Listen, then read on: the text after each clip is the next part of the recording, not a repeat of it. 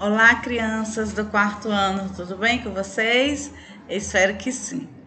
Crianças, nós vamos dar início à nossa aula de revisão.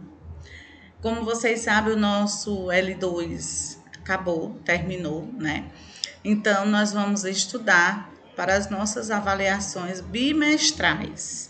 Né? Então, como vocês sabem, nesse período próximos às provas bimestrais, nós fazemos revisão de, do pouco, né, do muito, aliás, um pouca coisinha, né? Cada, cada capítulo nós tiramos um pouquinho para comentar sobre aquele assunto, sobre aquele conteúdo, né? Então nós vamos estudar de tudo um pouco, tá? Então, nós vamos começar né, falando sobre a chegada dos portugueses. Então, como vocês estão vendo aí, a navegação que eles usavam era um navio que se chamava caravela, certo? Então, vamos dar continuidade. Olha só. Então, como vocês sabem, eles chegaram, né, os portugueses chegaram aqui, né, no Brasil que hoje é Brasil, no dia 22 de abril de 1500, né? Então, chegando aqui, quem é que já habitavam aqui? Os indígenas. Por isso que a tia está caracterizada de quem? De índio, né? Então, nós vamos falar também sobre os indígenas, tá bom? E dando continuidade, essa expedição, né, do qual chegou aqui no, no dia 22 de abril de 1500, né, é, foi liderada pelo português Pedro Álvares Cabral. Né, e chegou né, ao local onde atualmente se localiza a cidade de Porto Seguro, na Bahia. Tá? Então, como vocês estão vendo aí, olha só a embarcação, eles descendo da caravela, né? Falando com, com os indígenas, né? Olhando, então, olhem direitinho aí essa imagem. Quando nós comentamos vários, várias vezes, né, em sala de aula, a gente sabe que eles ficaram, né, perguntando quem é, o que estão fazendo aqui, quem são essas pessoas, tanto um quanto os outros, porque todos dois estranharam a maneira, o modo de viver do, né, os indígenas, os portugueses e os portugueses com os indígenas. Só com o passar do tempo, eles também gostaram, porque aprenderam algumas coisas de, de, de ambos, né? Aprenderam, né, é, que, ou por exemplo, a gostar de tomar banho todos os dias, né, os portugueses, por causa dos indígenas, né? Dormir rede, quer dizer, e os indígenas que foram que aprenderam com, com eles, né, é, na, na colonização né? Conheceram a palavra, né? Que é a, a missa, né? Então, eles conheceram também muito dos, dos portugueses, não é? Então, vamos lá. A vestir roupa, né? Então, vamos lá.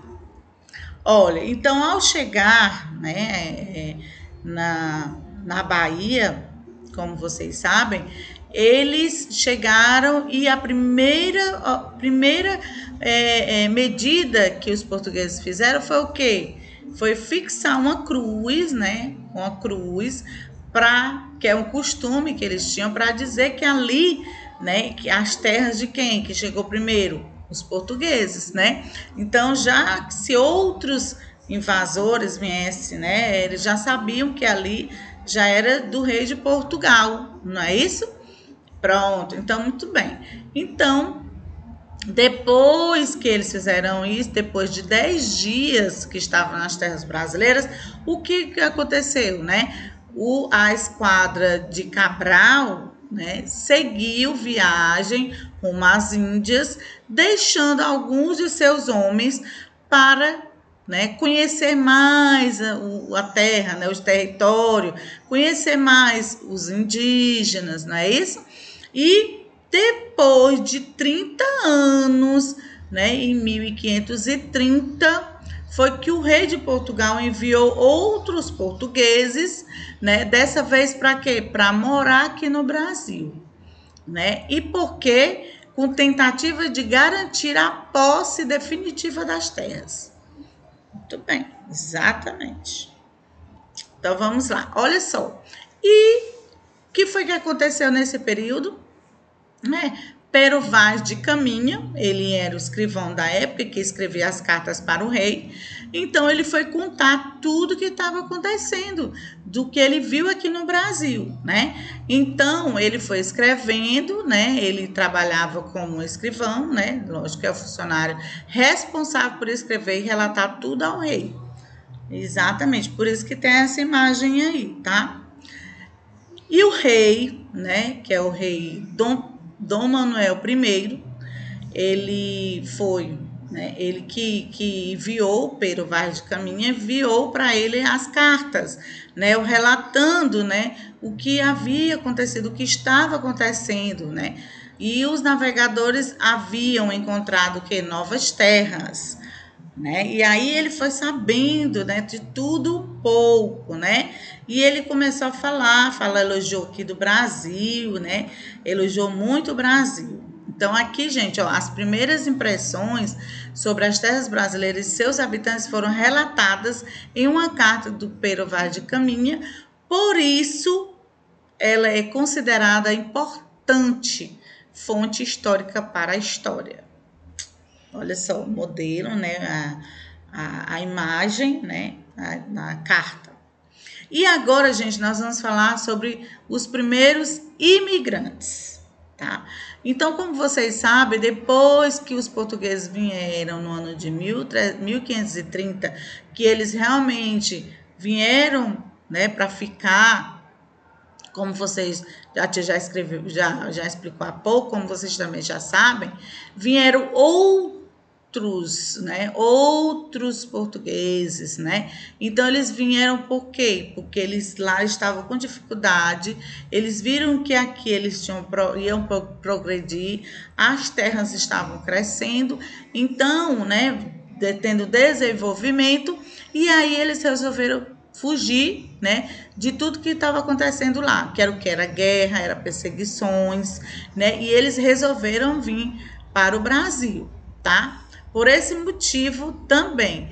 Então, como vocês estão vendo aí lá no, no, aqui no texto embaixo, tem o seguinte: por esse motivo, a cultura portuguesa faz parte da formação do Brasil.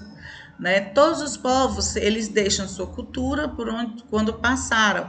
Então nós nós por isso que eu digo que quando eu explico para vocês o que é miscigenação, já falei para você, que é uma mistura de povos, né? Então, aqui todos passaram, todos deixaram sua herança, né? Nós estudamos também. Olha só, aqui nós vamos falar da colonização do Brasil. Aqui nós já vamos é, falar sobre o ano de mil, 1530 que os portugueses, né, eles, eles foi que eles vieram fazer, eles começaram a produzir aqui, né?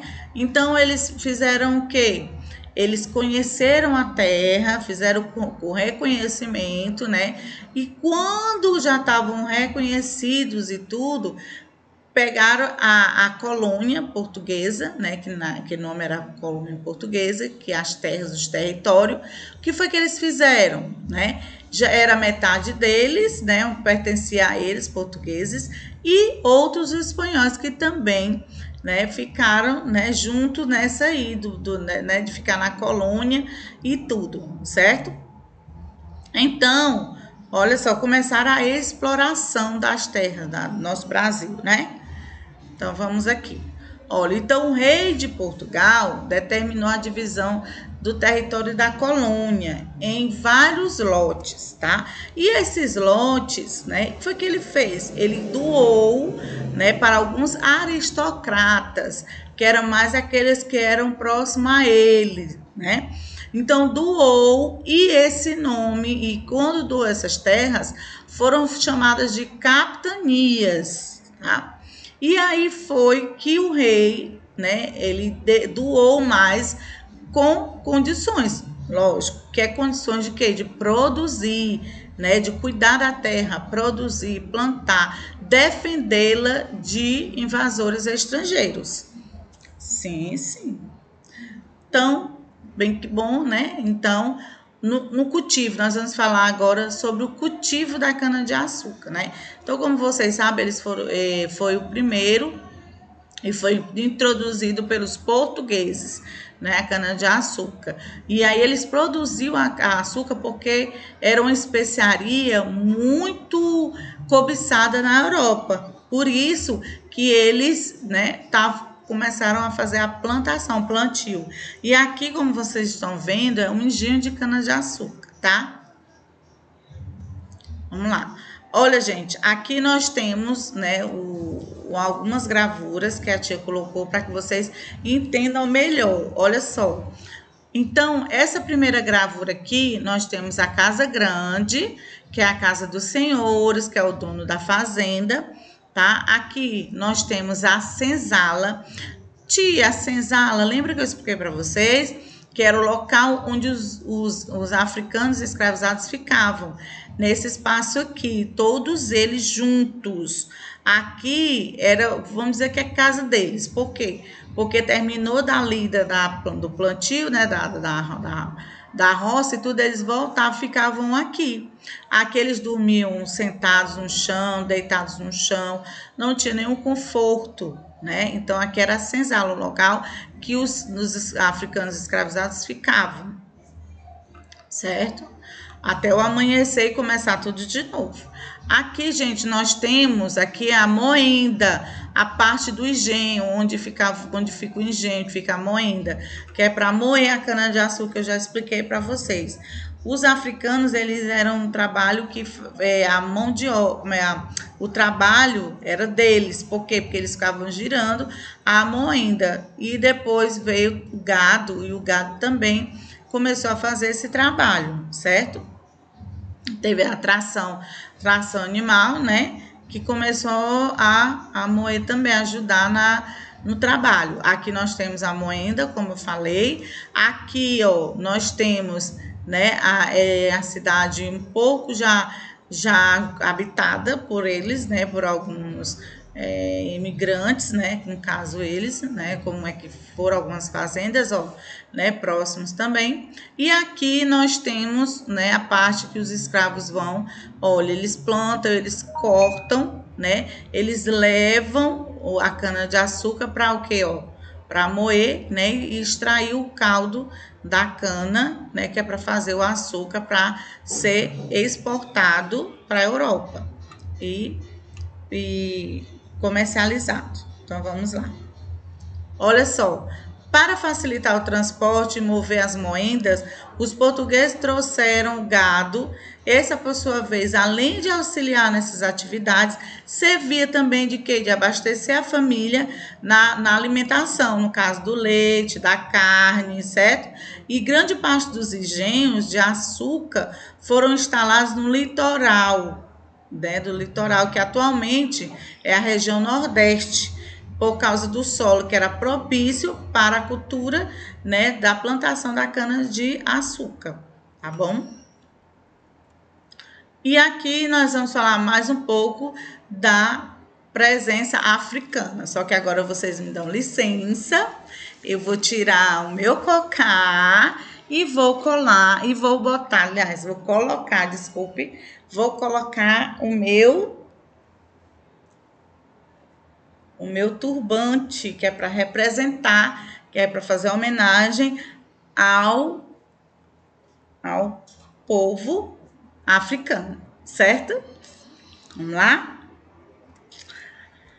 Presença africana no Brasil. Então, como vocês sabem, né, os africanos, a Tia já explicou, né, eles vieram, né, da África, né, que são os africanos, né, vieram da África para o trabalho aqui forçado no Brasil. Eles não vieram porque quiseram, vieram forçado. E quando chegava que eles eram é, comercializados, né, em leilões ou até mesmo diretamente com os senhores do engenho para que eles comprassem e eles fossem vendidos. Então, eles eram mercadoria. Para eles eram mercadoria, eles não eram humanos, era uma mercadoria que precisava trabalhar para eles, certo? E eles não queriam, né, que eles ficassem próximos à família, né? Tinha, tinha alguns, a maioria dos, dos senhores, eles não queriam com família, porque eles acreditavam, né, que se eles ficassem com a família, eles se rebelavam. Então, eles não queriam, queria ficar só com ele, ou então só com a, a, a mãe, né, ou, ou a mulher, que pudesse trabalhar na parte da, da casa grande, que é a doméstica. Então, na parte doméstica, né? Então, gente, eles se preocupavam muito com isso. E eles se preocupavam tanto, mas não era com, com os africanos, era com o lucro deles, que eles não queriam perder, né? Então, eles tinham que deixar quanto menos pessoas da família com o outro que ele comprasse, que ele adquirisse, que foi uma mercadoria, que para ele é, é, os africanos, né, o escravo africano, ele é uma mercadoria, que é o que? É, é, o trabalho, né? Ele queria só o escravo para trabalhar. Então, o humano ele jamais seria para ele, tá? Então, aqui, gente, está falando também que a África não é um país como as pessoas pensam que seja. Ele é um continente, tá? E Fala também, pessoal, da construção, né? Que eles, que eles têm essa, essa a tradição, a construção do cultural, né? Que eu digo. Aí tem tradição, que eles gostam de música, eles gostam de, de das religiões deles, eles são alegres, eles, eles dançam capoeira, né? Jogam capoeira. Então tem a culinária. Então, como vocês estão vendo, como já a tia já falou, né? E eles gostam muito de cores vivas, como nós fizemos até nossa casa, né? Vocês fizeram a casa, né? Dos africanos, pintaram, montaram, ficou belíssimo. E também vocês viram como é que eles se vestem, né? Que gostam muito de turbante. Então aqui, olha só, nós vamos falar das, da migração forçada dos africanos. Como eu já tinha falado anteriormente, né, que eles vieram forçados. Quando você, eu tenho até essa imagem aqui de, de um botando a mão no rosto, chorando, porque alguns deixaram famílias na África, né? Como eu falei, eles não, não queriam é, a família próxima, queria levar só o escravo, aquele que dava, que ia ter condições de trabalhar para eles, né? Então, gente, aqui, olha só, eles tinham acesso que eles iam para onde? Para os navios, né? Para o navio. Então, navio que chamava navio negreiros, que era onde eles eram trazidos, né? Que era a navegação que traziam eles. E lá eles eram colocados dentro dos dos porões, como eu já tinha explicado, né? Em sala e aqui também na nossa videoaula. Então, eles passaram por muitos é, transtornos, né? Por muita doença até chegar ao Brasil. E muitos morriam, outros chegavam doentes, como a gente já mencionou com vocês. Então, vamos lá, passando aqui para o próximo. Então, o comércio, eu já falei também, era lucrativo para os portugueses, né?